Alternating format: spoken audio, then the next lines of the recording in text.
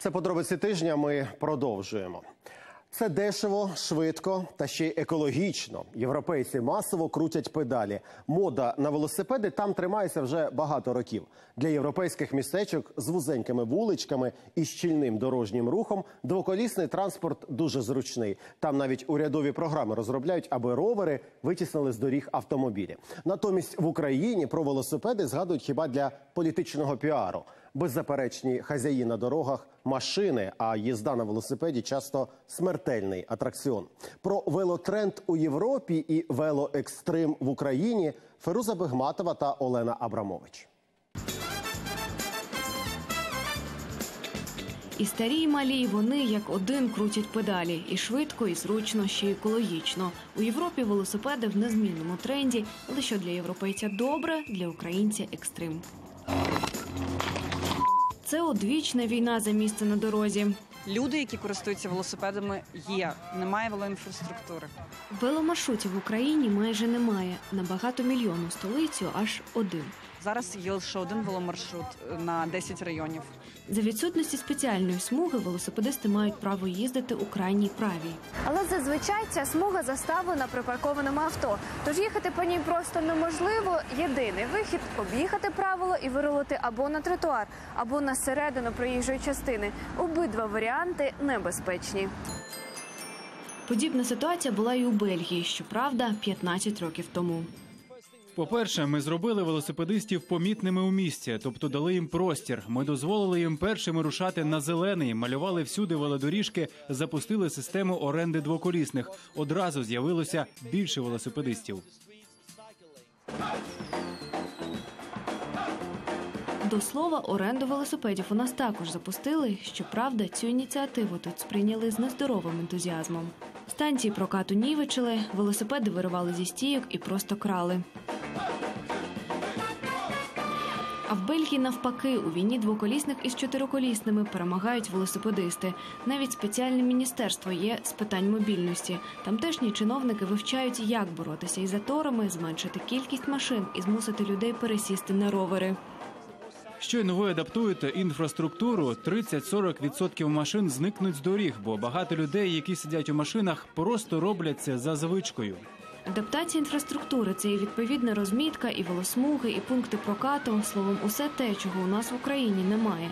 А ще популяризація двоколісних. Бельгійський міністр певний, аби прості люди пересіли на велосипед, спершу покрутити педалі мають політики.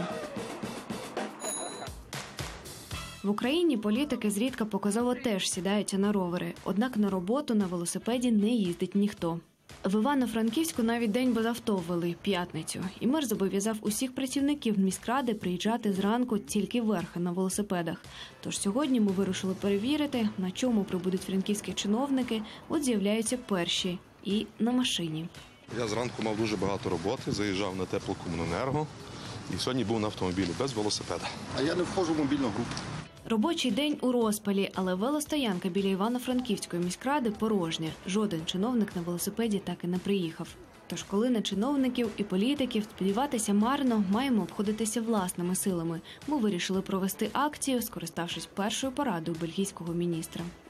По-перше, зробіть велосипедистів помітними у місті. Це те, що треба зробити. Наважтеся на рішучі кроки. Рішучі кроки, розширення велоінфраструктури не в наших силах. От зробити велосипедистів нарешті помітними ми спробуємо. Ми вирішили поводитися так само, як це зазвичай роблять найчисельніші та найбезцеремонніші учасники дорожнього руху автомобілісти. Залишали свій транспорт на пішохідному переході.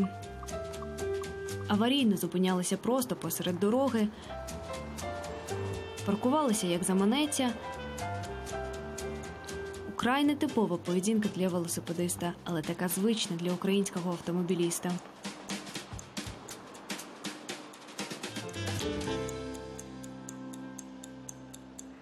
І результат трагічний. За даними поліції, за останні півроку в Україні загинуло більше півсотні велосипедистів, а травмовані понад півтисячі. У разі аварії у нас здебільшого неправим вважається велосипедист. А от в Нідерландах навпаки.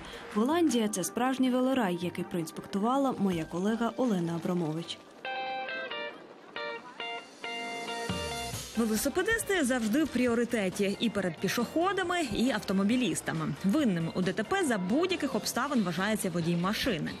У голландців є такий жарт: навіть коли ти їдеш на велосипеді вночі без увімкненого ліхтаря по дорозі з одностороннім рухом у протилежному напрямку, все одно велосипедист правий. Єдиний виняток не можна їздити п'яним. Ставлення до велосипедистів в Амстердамі склалося напевно з тієї самої причини, що й в нас до витівок автомобілістів. Їх просто більше. Роверами тут користуються майже всі. На 850 тисяч населення 800 тисяч велосипедів. Іноді велосипеди падають у воду, і схоже таки нерідко. Якщо на запитання про глибину каналу амстердамці відповідають 3 метри води і 1 метр велосипедів. Щоб зрозуміти масштаб популярності тут двохколісних, досить побачити, скільки їх запарковано навколо залізничного вокзалу в Амстердамі. Комунальники маркують велосипеди, які стоять довше двох тижнів, і забирають їх. Буває до пів тисячі на добу.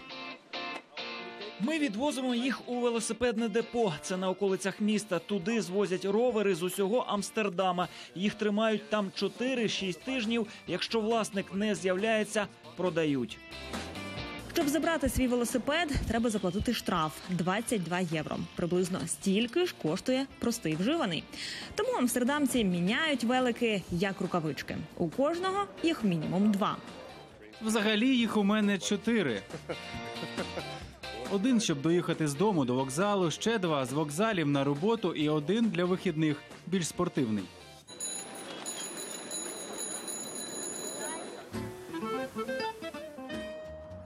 В Україні велокультура активно розвивається хіба в селах. Та й то не заради моди чи як ініціатив, а через бідність. Машини тут можуть дозволити собі не всі, та й проїхати сільським бездоріжжям на двоколісному зручніше.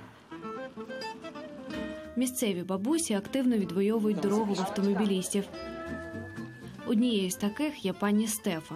Цей ровер у жінки вже кілька років. каже, його на день народження подарували діти. А раніше, як усі в селі, їздила ще на радянській Україні. Мені зручно, я собі не чекаю ні на автобус, нічого сюди рано поїхав на роботу, коли завадилися з роботи, приїхали і все. Тож, поки українські мегаполіси для велосипедів не проїзні, європейський велотренд підтримує хіба що українське село.